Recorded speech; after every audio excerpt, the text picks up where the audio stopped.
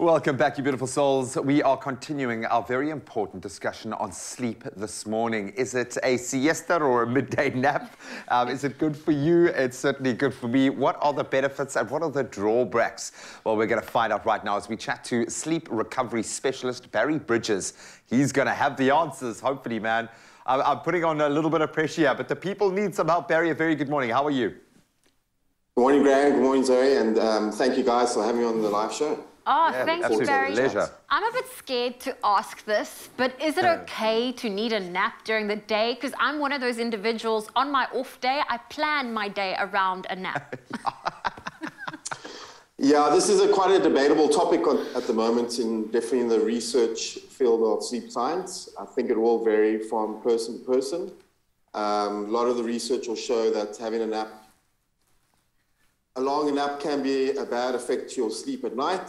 Um, and then some athletes will say, you know, especially athletes I work with, when they have shorter naps, that actually helps them with their performance. So I think it's going to depend on each individual. I think it will also depend on each person's different chronotype, whether you are a morning person or an evening person.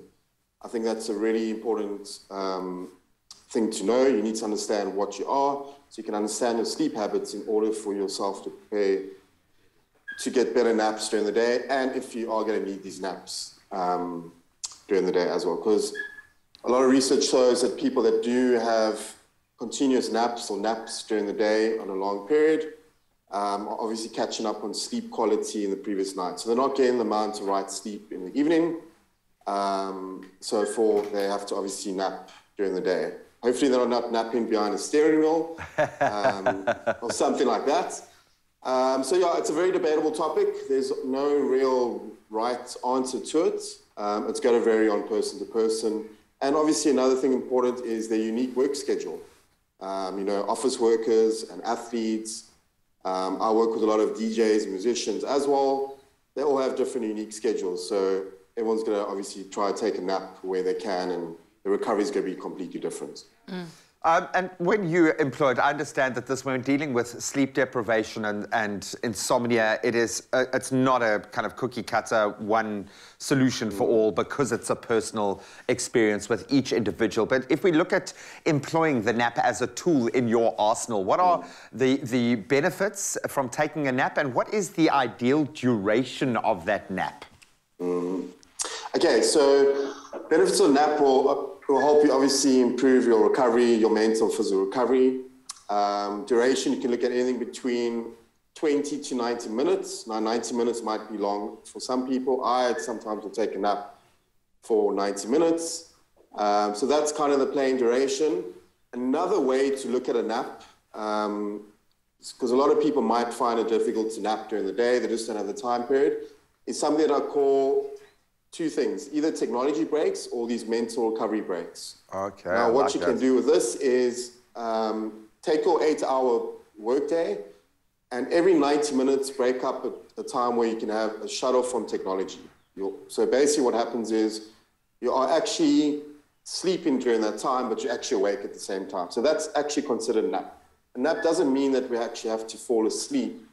Um, it can also mean we're wide awake, but we're just doing something else. So a technology break and a mental recovery break could be something like making tea, going for coffee, using the bathroom.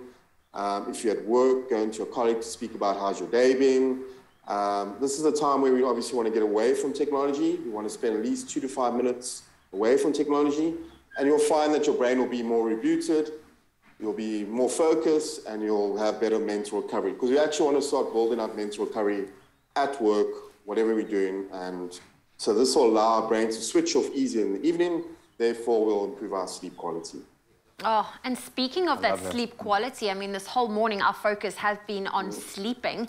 How does temperature affect one's sleep? I know it's different for people, you know, during summer and winter, but how does temperature really affect one's sleep?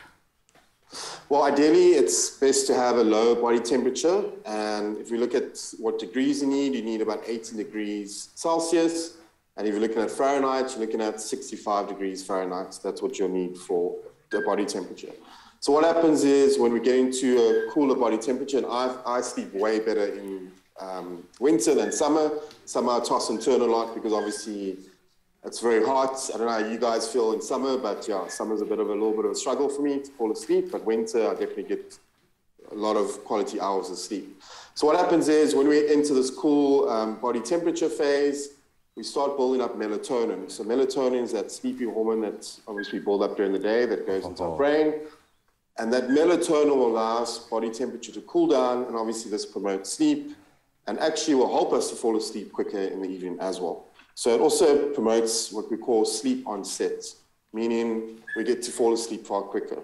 Um, in summer, obviously, it's a little bit of a struggle because it's very hot. You know, our summers get extremely, extremely hot, and yeah, it's. But there are different tools out there. Um, there's a, a, sleep company I work for or affiliated to. It's actually called Deep Sleep Wear. Um, you can Google it. It's a sleep hoodie brand that actually modifies your body temperature and allows you to wow. um, your body temperature to stay at a certain way.